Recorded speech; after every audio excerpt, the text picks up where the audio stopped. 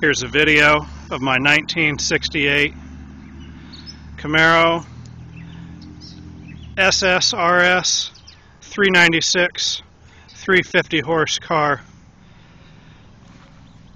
with a lot of very unique and rare options. This car has the dog dish Copo type wheels.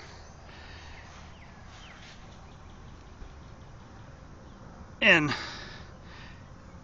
excellent like new condition. These are actually new old stock redline tires. These aren't the reproduction. They have such a little time on them they actually still have the inspection marks this car is in near concours condition. Be hard pressed to find one like this elsewhere without spending a whole lot of money. Would cost probably 80 or 100,000 to do a car like this. Notice the striping.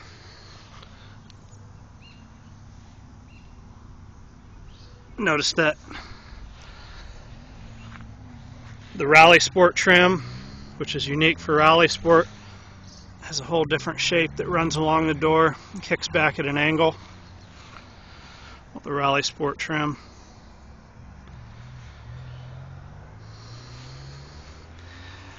Another special option on this car is a vinyl top, which looks awesome with the Copo wheels blacked out tail pan RS backup lights.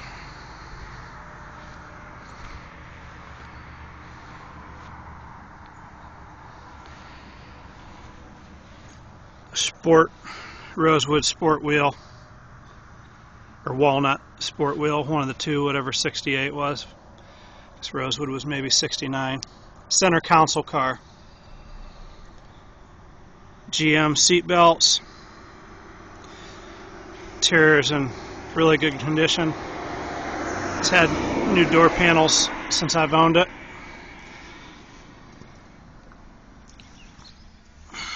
Seventy-seven. Can't probably can't see it. Seventy-seven thousand six hundred sixty-nine miles on the odometer, probably are original but I don't guarantee that.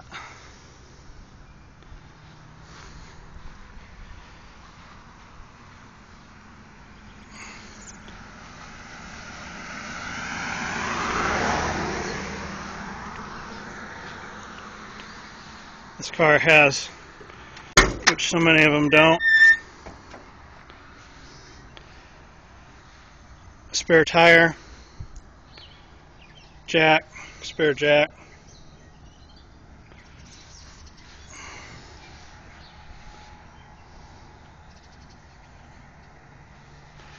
the courtesy light works in the trunk yet. Jacking and posi limited slip sticker for the 12 bolt rear end this car has.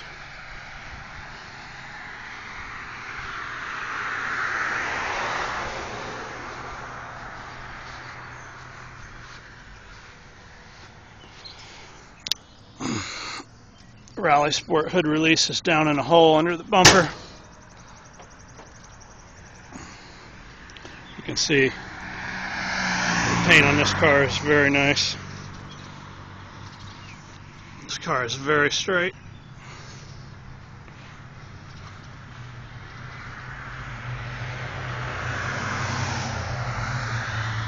All the glass on this car appears to be original. It says uh, a little bit of dirt on it there, but it says uh, 5S or S5M solid tempered safety plate, and then it has the AS2, which I believe is a date code. I'd have to look that up. Same goes for the rear glass, flow light, solid tempered. I don't know if you can see that.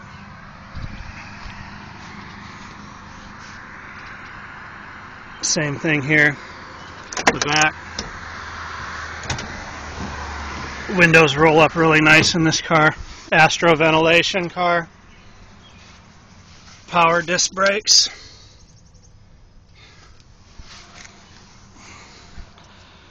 Doors and everything are in really nice condition in this car.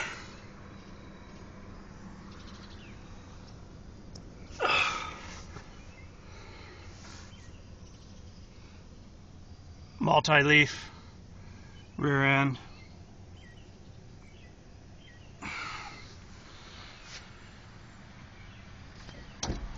Both the uh, driver and passenger door glass also, um, you know, have codes on it. Solid tempered A S5, I believe is. It's hard to read it because it looks backwards the way they put it on the glass.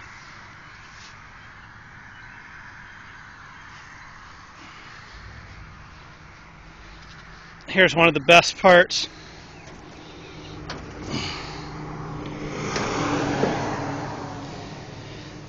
This car has a numbers matching L34 350 horse 396 engine.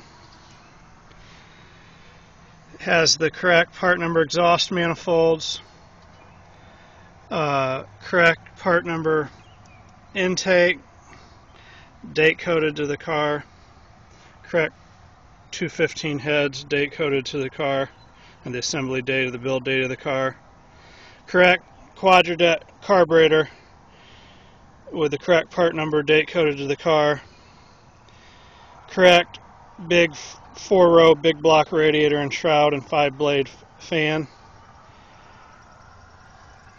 GM hoses and belts, correct color on the master cylinder the correct bathtub style master cylinder. This car has the correct part number engine block, date coded to the car, with the correct Ford 6223 3.766 stroke crankshaft. You probably won't be able to see this very easily here, but on the front pad of the motor, it has Tonawana Tonawanda T0103MR for the assembly date. Looks like January 3rd MR code is 350 horse, 396. Automatic turbo 400 car. Also has the 18N for Norwood 377 402 VIN in the block. Has the correct points distributor, also with the correct part number, date code of the car. Correct alternator the right part number date coded to the car. This car has window washer squirter options. Um, the turbo 400 transmission has the correct uh, tag on it, yellow tag. I believe it says CE on the tag. It also has the same VIN like the engine block in the Turbo 400 transmission. And uh, the tag has the date code on it, all that good stuff on the side of the Turbo 400 transmission.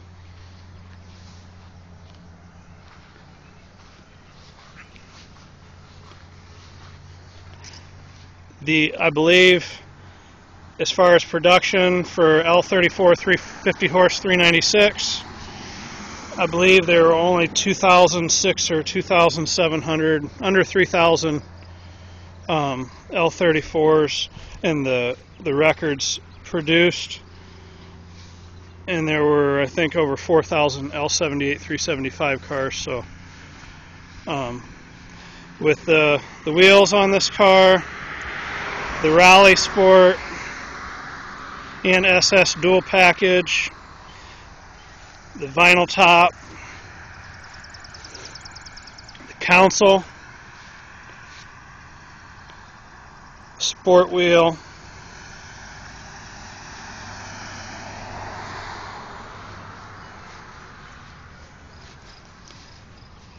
power steering car. All these things make this a very desirable car.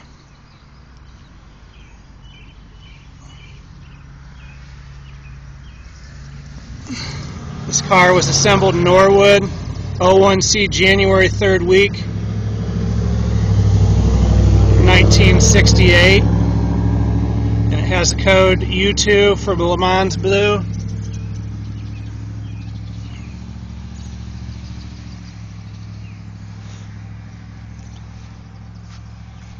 Car has the insulation snaps in the hood like it would have come from GM with the right color hinges.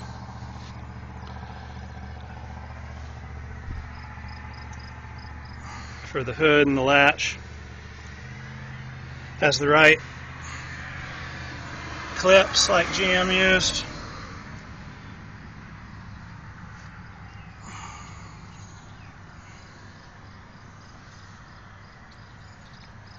Right radiator cap. This motor has the correct TR, I don't know if you can see it, but TR marked valve cover bolts, the correct square screen air, air filter element, and the correct air cleaner, the correct propeller markings on the intake bolts.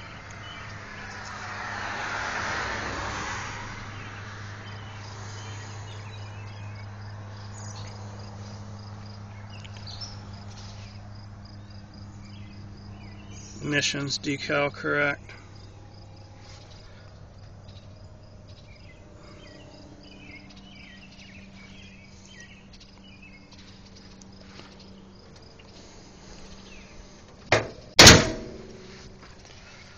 the lines on this car as far as the the gaps in the hood door fit bugs landing on it the door gaps trunk line this is also a rear spoiler car and has rear bumper guards which is pretty neat looking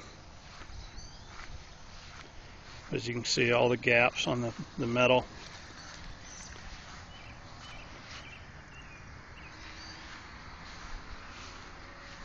Just a really phenomenal car. Saw meet them in Indianapolis a couple weeks ago. These cars were bringing 55. Some of them, like Cross Ram Z28, 69 cars, are bringing over $100,000.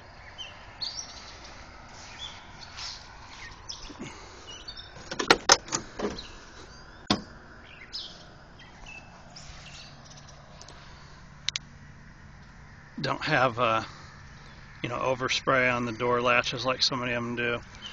The rocker paint lines are cut in correctly like they came from GM for the Rally Sports We're all blacked out there. So you can see the quality of the paint on the dash and everything. Dome light works just like the trunk light horn works on this car. Door shut nice and crisp. You don't have to try to slam them. The bushings and pins feel really nice. Just open and shut crisp like. The uh, rubbers on this car are really good. You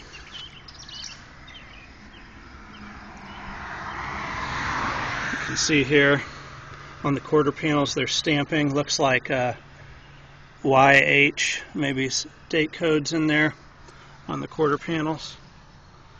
All the blackout cut in correctly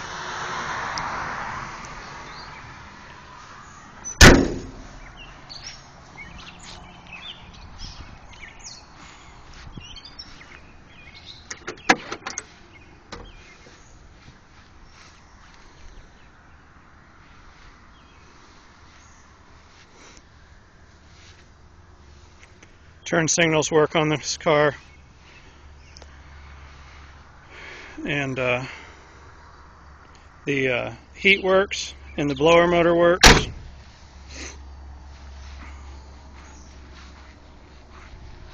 Windshield wipers work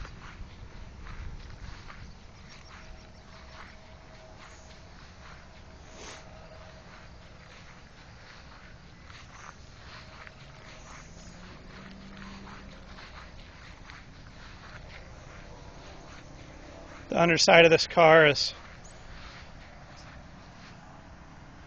awesome. It's uh, all painted and detailed underneath.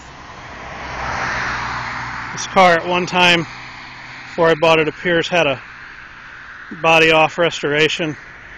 Had uh, floors put in. I think a trunk pan and but I think it's always been car that's been cared for.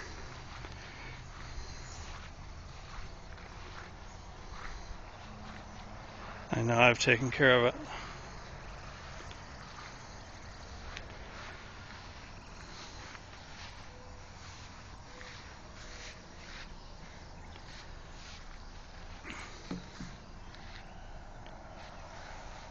Package tray up in the rear seat and all that is nice. And now I'll start the car up for you. Pause the video for a moment. So you can see GM seat belts in very good condition. Click into the center console. It's starting to get dark. Um, the fuel gauge in this car works see the turn signals.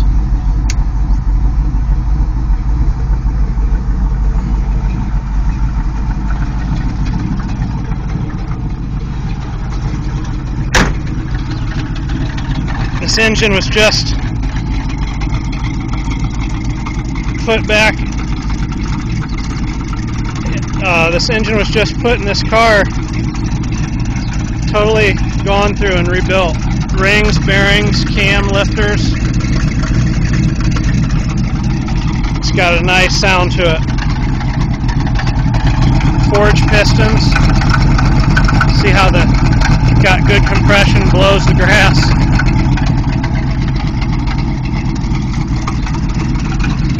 Transmission was majorly serviced. The governor was serviced. Shift modulator valve was changed filter changed in it since I've had it.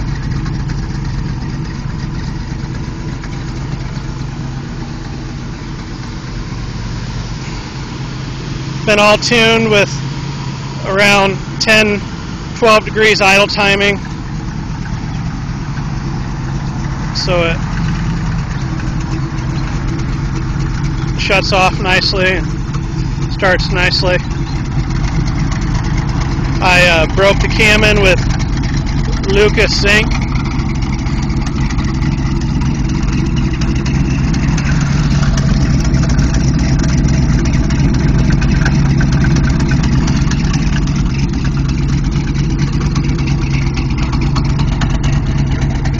Has a driver and passenger mirror option, which is nice.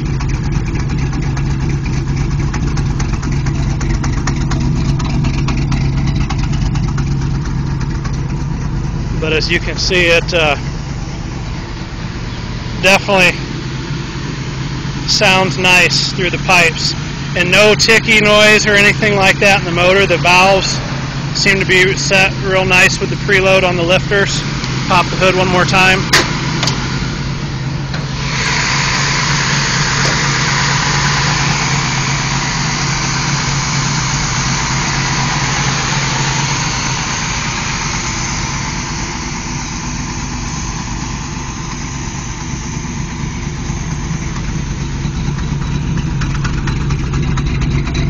I suspected like the glass with the codes on it and everything. I haven't decoded them, but seat belts and the glass probably probably are original to the car, but I don't I don't guarantee anything born original to the car. It's too old. It's 50 years old or more. But it's definitely a correct numbers matching engine and transmission, 12 bolt rear end multi-leaf car. It was represented me as a true SS when I bought it. I have some NCRS uh, documentation to what zone and dealership it was delivered to when it was new. Um, but uh, here you have it 68 L34 396 big block car RS SS with a lot of really special options. This should be a one to put up for 10 or 20 years and some should be a very good investment. I don't think uh, whoever buys this car, if I sell it, is going to be disappointed in the quality of the car. I've had a lot of muscle cars and this one is definitely one of the nicer ones all the way around.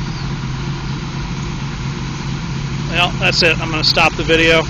Thank you for watching. If you have any questions, you can call me at area code